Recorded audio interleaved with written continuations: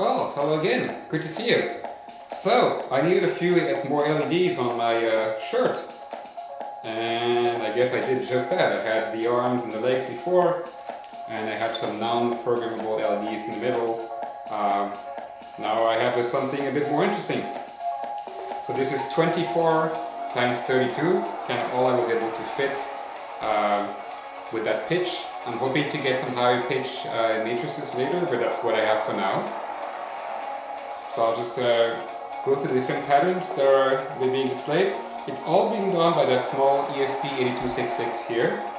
It's actually driving one, two, and three panels separately in parallel, so I get a 10 second milli, a 10 millisecond refresh.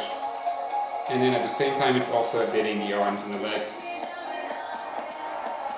So I'll go through different patterns. Some I wrote myself, like the text. Uh, some came from uh, Mark Estes, who wrote those patterns for uh, coffee table with, uh, I think, a 64 times 64 matrix. And I was able to reuse some of his code uh, and able to basically use it for my shirts, and some actually look quite nice. Um, the zooming font, I actually, I'm using the Adafruit GFX library and uh, pre-computed font sizes, and I'm just displaying one more size, one after another, to actually get that zooming effect. That's a Trance Family San Francisco being displayed here. I'm sorry if you don't like trance. That's what you're going to get on this uh, soundtrack. Uh, so just go through demos quickly. You can see that one. Yeah, sorry for looking down, I can't otherwise describe them. This one is an animated GIF.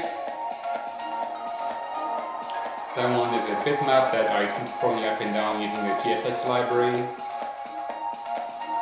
That want another animated GIF. A different effect with the same fonts. This time I'm using the FastLED um, fading effect. Obviously each effect lasts longer, but if I show them all, there's actually, I think 26 of them, it would take 15 minutes or so, so I'm making it a bit shorter. You get the idea though. Another animated GIF goes as a star pat a random star pattern. The fireworks, I really, really like the fireworks. Uh, that code came from many people past over the years. Um, when I was at EDC in Vegas, they actually had real fireworks every night and then I would display it down on my shirt at the same time and people totally loved it. That, uh, that pattern was actually meant for uh, just a little strip like this one, um, but actually that looks very nice on the matrix as you can see. That one's called Fried. I got that from Sublime Artists I believe. Uh, quite nice actually.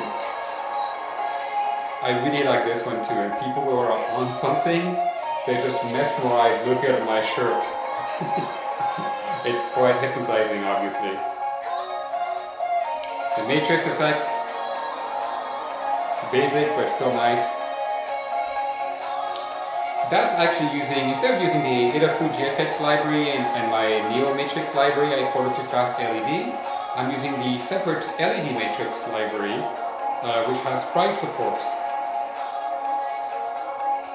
So those sprites are being animated uh, kind of manually because the default sprites are not meant to be bouncing in corners, they only go up and down. But I was able to reuse the, uh, the sprite graphics, I didn't have to write my own Pac-Man, which is a bit not the best use of my time. So it gets a pill, and it eats the ghost, and 200 points, and you can see the ghost eyes going away. People actually like that, and there's actually people who are showing Pac-Man signs and when I show up with that they're like, ah, so cool. So that's a nice plasma effect. Like using, looking at, I'll show you later how it works. I'm using a 4 amps actually right now, just displaying that front and back.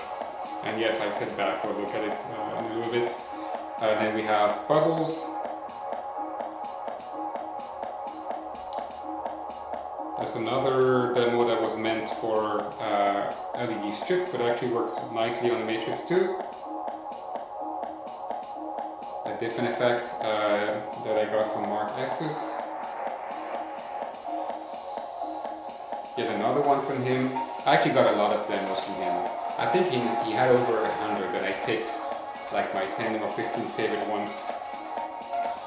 A different uh, kind of uh, font zooming, again Trance Family San Francisco.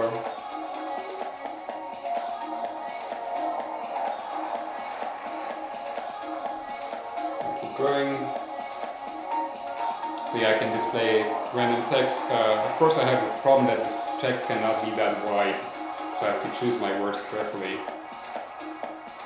The Rain and Thunderstorm, I really love this one. And uh, I got that from Sublime Artist. With the, uh, the, the lightning, people really love this one. And so do I actually. Another different patterns. More text. Uh, that one's a fire demo uh, using different palettes of colors, simulating different kinds of materials burning. I forget like magnesium, iron, wood. Um, it looks nice. Another version of the uh, hypnotizing effect once it grows. It starts kind of small and then it grows onto the whole uh, available screen. And we've gone around. So um, the problem is when I'm facing um, the stage, most people are looking at my back because there's a person in front of me who's not looking at me and people behind me are not seeing my front. So how do I fix that?